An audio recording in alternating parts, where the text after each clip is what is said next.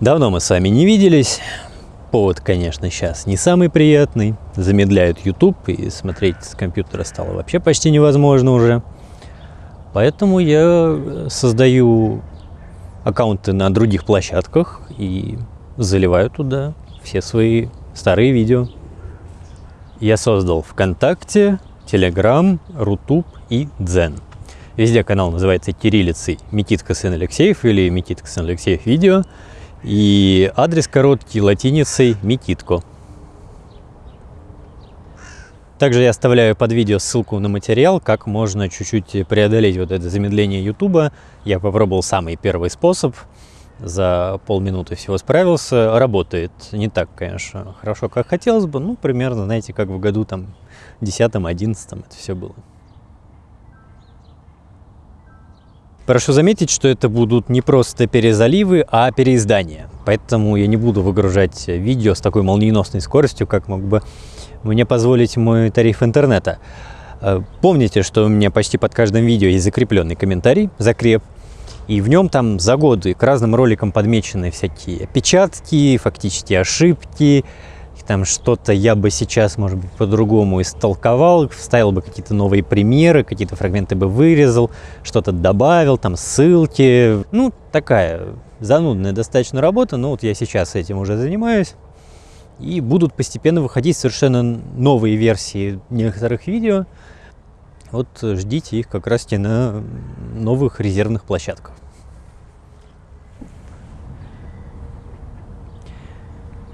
Вы, конечно, полюбопытствуете, почему же видео сначала стали выходить редко, потом и вовсе пропали, будут ли новые ролики. Э, за последние два года в моей жизни много чего изменилось. Я успел поступить и отучиться в магистратуре, я переехал в другой город, у меня изменились разные семейные положения, обстоятельства и так далее. И главное, я переоценил свое творчество, то, чем я занимался года эдак с 18 в таком виде. Пора подводить итоги. Еще древние говорили, что времена меняются, и мы меняемся вместе с ними. Времена, очевидно, изменились. Значит, как-то должен измениться и я. Но я последние два года все думал, какую же сторону? Я решил, что если я и вернусь в сеть, то только с чем-то совершенно новым и небывалым, что не делал раньше.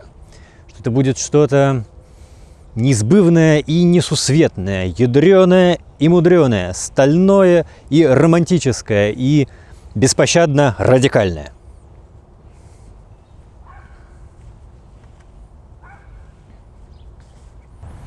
Появляться снова в сети с чем-то иным, с какой-то старой шарманкой, с какой-то уже всем обрыдлой дудкой, мне как будто уже не интересно. И опять же, просто времена изменились, это больше не нужно.